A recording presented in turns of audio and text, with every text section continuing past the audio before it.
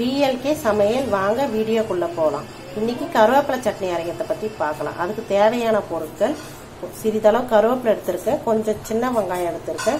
பத்து பல் பூண்டு எடுத்திருக்கேன். ஒரு இஞ்சி துண்டு எடுத்திருக்கேன். ஆறு பச்சை மிளகா கொஞ்சம் தேங்காய் எடுத்திருக்கேன். கொஞ்சம் உளுத்தம்பருப்பு எடுத்திருக்கேன். இந்த சைஸில் புளி எடுத்திருக்கேன். எல்லாத்தையும் வறுத்து எடுத்துக்கணும்.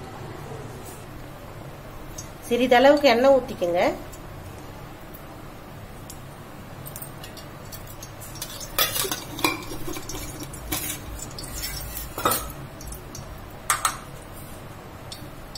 எடுத்து வச்சு சின்ன வெங்காயத்தை போட்டு நல்லா வதக்கணும். சின்ன வெங்காயம் பூண்டு ஒரு துண்டு இஞ்சி பச்சை மிளகா ஆறு. எல்லாம் நல்லா பொன்னிறல வறுத்து எடுத்துக்கணும். இந்த அளவுக்கு பொன்னிறல வறுத்து எடுத்து வேற பாத்திரத்துல மாத்திக்கணும்.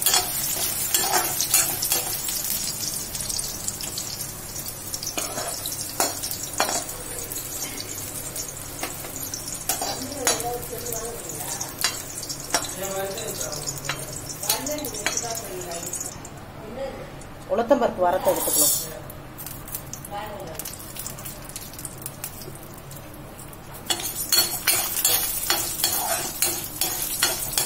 நல்லா பொன்னரல வரத்தை எடுத்துக்கணும் உளுத்தம்பருப்புங்க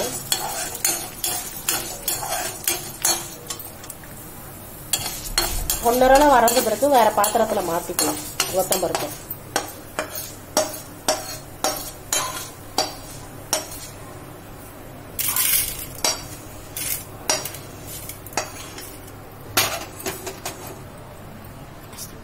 தேங்காவும் வரத்தை எடுத்துக்கணும்.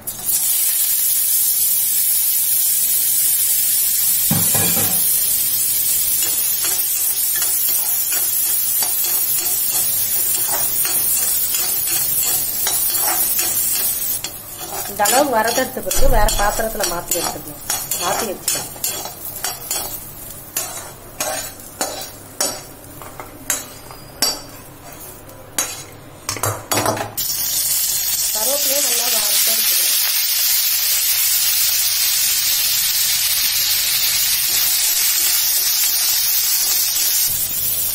இந்த அளவுக்கு நல்லா வதக்கி எடுத்துக்கோங்க கருவேப்பிலையும்.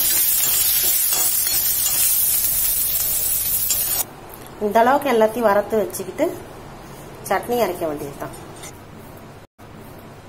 தேங்காய் சின்ன வெங்காயம் பூண்டு பச்சை மிளகாய் போட்டு முதல்ல அரைச்சிக்கணும். இந்த அளவுக்கு அரைச்ச பிறகு உளுத்தம்பருப்பு புளி போட்டு அரைக்கணும். கருவேப்பிலை சேர்த்து அரைச்சிக்க வேண்டியது. இந்த அளவுக்கு வச்சு வச்சுக்கணும். கருவேப்பிலை போட்டு அரைச்சிக்கணும்.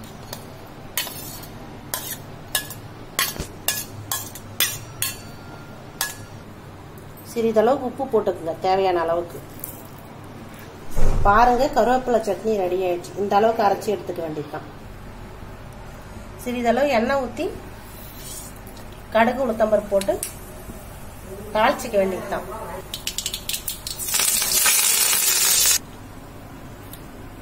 பாருங்க கருவேப்பிலை சட்னி ரெடி ஆயிடுச்சு. நீங்களும் செஞ்சு பாருங்க சூப்பரா இருக்கு.